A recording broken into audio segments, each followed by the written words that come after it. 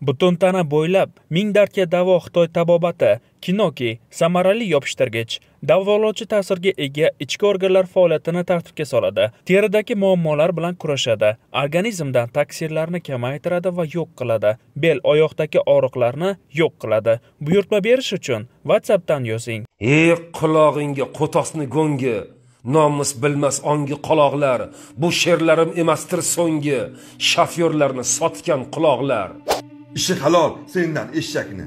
Halollab yer qasu hashakni ko'rmaysanmi qiynalgan xalqni shofyorlarni sotgan quloqlar. Senlar la'nat nafratga duchor. Senlarda yo'q nomus g'urur or itdan battar bo'ladirsan xor shofyorlarni sotgan quloqlar. Qarg'ishlardan topayapsan pul. Kasal boqqin shu puldan nuqul.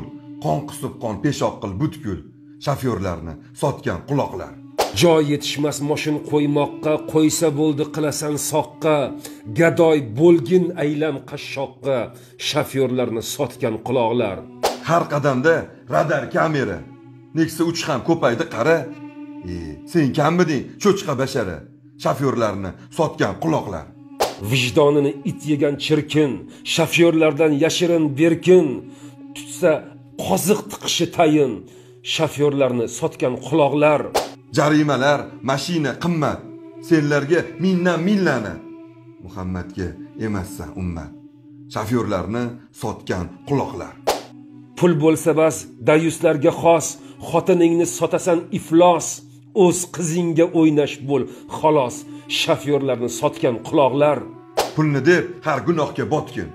Ketingni ham pul bersa sotgin. Qarg'ish olib lahatda yotgin. Shofyorlarni sotgan quloqlar jonim achib bag'rim bo'lib qon shofyorlarni his qildim bu on seni yomon ko'rar shuhrat shon shofyorlarni sotgan quloqlar.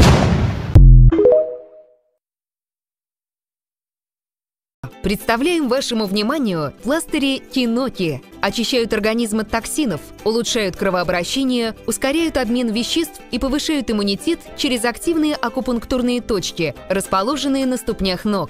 Эффективность пластырей Киноки доказана многочисленными клиническими исследованиями. Заказывайте детоксикационные пластыри Киноки прямо сейчас.